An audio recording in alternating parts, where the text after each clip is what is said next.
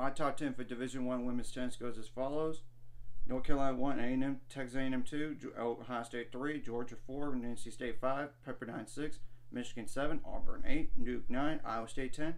Teams outside looking at like Texas, Virginia, Stanford, Wisconsin, Tennessee, and Kansas. Just to name of some teams right there.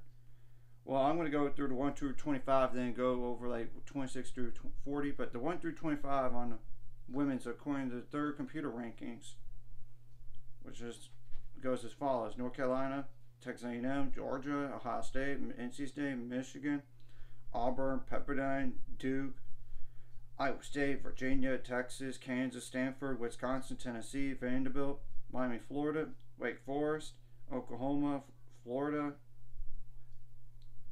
Syracuse, Notre Dame, Old Dominion, Washington, Georgia. I mean, that's Washington's number 25, but 26 through 40 would go as follows Georgia Tech, Arizona State, Illinois, UCF, UNC Charlotte, Texas Tech, South Carolina, Princeton, Oklahoma State, Florida National, USC, San Diego, Clemson, LSU, and Baylor.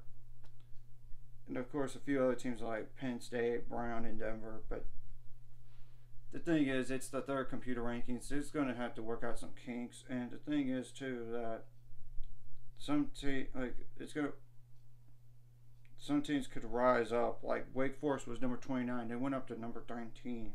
Miami Florida was number thirty, and now number eighteen. So really, it just shows anything could happen. So Anyways, if you like this content, like and subscribe see you guys learn, Five subscribers, we're on the road to it. Let's go.